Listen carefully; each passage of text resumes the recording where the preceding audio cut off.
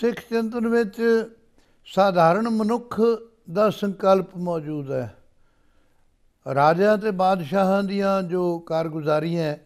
ਉਹਨਾਂ ਨੂੰ ਗੁਰੂ ਸਾਹਿਬਾਨ ਨੇ ਆਲੋਚਨਾਤਮਕ ਤਰੀਕੇ ਨਾਲ ਵੇਖਣ ਦੀ ਕੋਸ਼ਿਸ਼ ਕੀਤੀ ਹੈ, ਪੇਸ਼ ਕਰਨ ਦੀ ਕੋਸ਼ਿਸ਼ ਕੀਤੀ ਹੈ। ਉਹਨਾਂ ਨੇ ਇਹ ਦੱਸਣ ਦੀ ਵੀ ਕੋਸ਼ਿਸ਼ ਕੀਤੀ ਹੈ ਕਿ ਜੇ ਤੁਸੀਂ ਆਪਣੇ ਆਪ ਨੂੰ ਬਹੁਤ ਸ਼ਕਤੀਸ਼ਾਲੀ ਸਮਝਦੇ ਹੋ, ਤਾਂ ਪਰਮਾਤਮਾ ਦੀ ਨਜ਼ਰ ਵਿੱਚ ਤੁਸੀਂ ਬੜੇ ਛੋਟੇ ਹੋ। ਪਰਮਾਤਮਾ ਨੇ ਪਤਾ ਨਹੀਂ ਕਿਹੜੇ ਵੇਲੇ ਤੁਹਾਡੇ ਹੱਥ ਖਾਲੀ ਜਾਣ ਲਈ ਤੁਹਾਨੂੰ ਮਜਬੂਰ ਕਰ ਦੇਣਾ ਹੈ। ਬਹੁਤ ਸਪਸ਼ਟ ਤੌਰ ਤੇ ਲਿਖਿਆ ਗਿਆ ਹੈ ਗੁਰੂ ਸਾਹਿਬਾਨ ਵੱਲੋਂ ਬਾਣੀ ਵਿੱਚ ਕਿ ਜੇ ਕੋ ਨਾ ਉਤਰਾਏ ਵੱਡਾ, ਸਾਧ ਕਰੇ ਮਨ ਭਾਣੇ ਖਸਮੈ ਨਦਰੀ ਕੀੜਾ ਆਵੇ, ਜੇਤੇ ਚੁਗੇ ਦਾਣੇ, ਮਰ ਮਰ ਜੀਵੇ, ਤਾਂ ਕਿਛ ਪਾਏ, ਨਾਨਕ ਨਾਮ ਵਖਾਣੇ।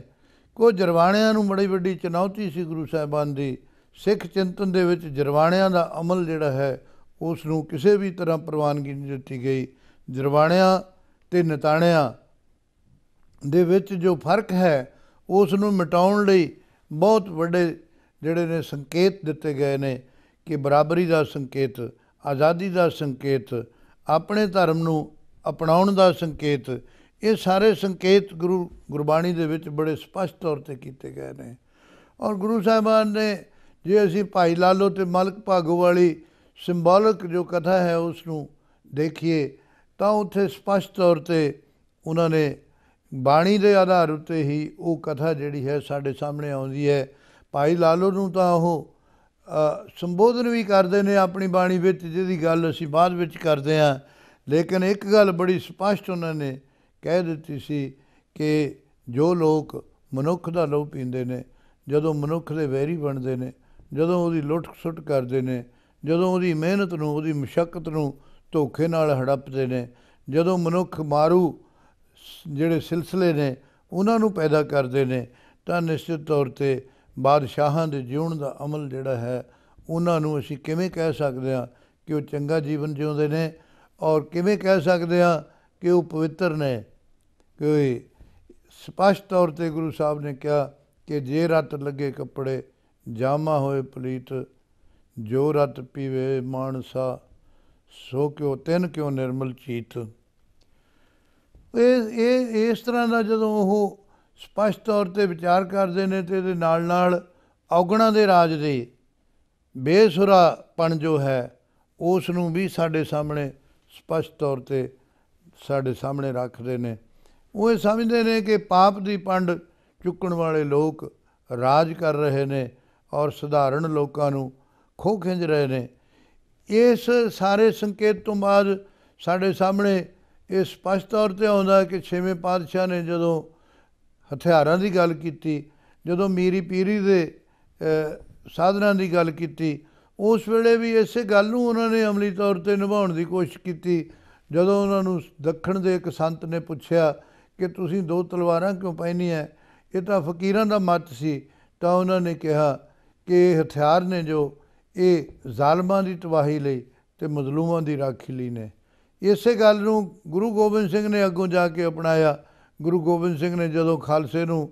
ਕਿਰਪਾਨ ਰੱਖਣ ਦਾ ਅਧਿਕਾਰ ਦਿੱਤਾ, ਜਦੋਂ ਖਾਲਸਾ ਫੌਜ ਦੀ ਸਿਰਜਣਾ ਕੀਤੀ, ਜਦੋਂ ਖਾਲਸਾ ਪੰਥ ਦੀ ਸਿਰਜਣਾ ਕੀਤੀ, ਉਸ ਵੇਲੇ ਵੀ ਉਹਨਾਂ ਇਹੀ ਕਿਹਾ ਕਿ ਹਥਿਆਰ ਚੁੱਕਣ ਤੋਂ ਪਹਿਲਾਂ ਆਪਣੇ ਸਿਰ ਨੂੰ ਹਥਿਆਰ ਬੰਦ ਕਰਨਾ ਹੈ ਔਰ ਇਹਦੇ ਨਾਲ ਨਾਲ ਹਥਿਆਰ ਕਿੱਥੇ ਵਰਤਣਾ ਹੈ ਇਸ ਕਿਸਮ ਦੀ ਚੇਤਨਾ ਹੋਣੀ ਜ਼ਰੂਰੀ ਹੈ। ਇਹ ਗੱਲ ਬਾਦਸ਼ਾਹਾਂ ਦੀ, ਦੇ ਤੌਰ ਤਰੀਕੇ ਤੋਂ ਬਿਲਕੁਲ ਅਲੱਗ ਸੀ। ਇਹ ਇੱਕ ਨਵੀਂ ਪਰੰਪਰਾ ਪਾਉਣ ਦਾ ਤਰੀਕਾ ਸੀ। ਗੁਰੂ ਨਾਨਕ ਸਾਹਿਬ ਨੇ ਜਦੋਂ ਇਹ ਕਿਹਾ ਕਿ ਲਬ ਪਾਪ, ਦੋਏ ਰਾਜਾ ਮਹਿਤਾ, ਕੂੜ ਹੋਆ ਸਿਕਦਾਰ, ਕਾਮ ਨੇਬ ਸਦ ਪੁੱਛੀਏ ਬਹਿ ਬਹਿ ਕਰੇ ਵਿਚਾਰ, ਅੰਧੀ ਰਈਅਤ, ਗਿਆਨ ਵਿਹੂਣੀ, ਭਾਏ ਭਰੇ ਮੁਰਦਾਰ, ਗਿਆਨੀ ਨੱਚੇ, ਵਾਜੇ ਵਾਵੇ ਰੂਪ ਕਰੇ ਸਿਗਾਰ, ਉੱਚੇ ਕੂਕੇ ਵਾਟਾ ਗਾਵੇ ਜੋਦਾ ਕਾ ਵਿਚਾਰ, ਮੂਰਖ ਪੰਡਤ ਹਕਮਤ ਹੁਜਤ ਸੰਜੇ ਕਰੇ ਪਿਆਰ। ਇਹ